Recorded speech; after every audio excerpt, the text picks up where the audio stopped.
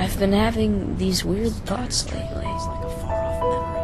A far off memory that's like a scattered dream. I want to line the pieces up.